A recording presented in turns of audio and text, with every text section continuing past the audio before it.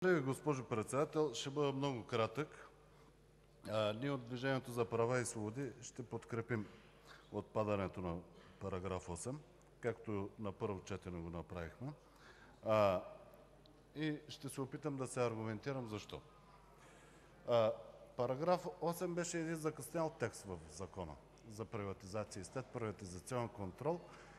Целта, която се постигаше с приемането на § 8, беше имущество на приватизираните дружества да могат да служат като обезпечение по приватизационните договори, които вече бяха сключени. Защото по тях нямаше обезпечение, тъй като предмет на приватизационните договори основно бяха акции и дялове, а купувачите като дружества нямаха други обезпечения и самите купувачи разпродаваха имущество на приватизираните дружества, без да изпълняват приватизационни договори. От тази гледна точка се наложи приемането на § 8 – да могат да се налагат ипотеки върху имуществото на приватизираните дружества. От друга страна, сега в момента този текст на § 8 не върши тази работа, с каквато цел беше приет.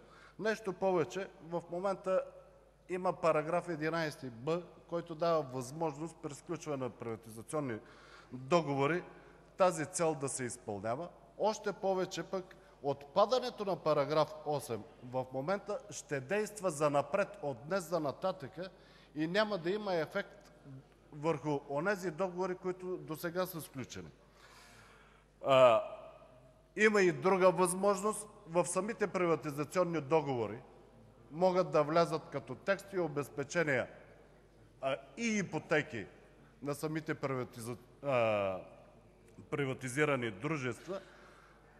Сега в момента, като имаме вече и процедура от Европейската комисия, няма нужда ние да държим този текст, който в момента дори е безпредметен в Закона. От тази гледна точка ние ще подкрепим неговото отпадане. Благодаря Ви за вниманието.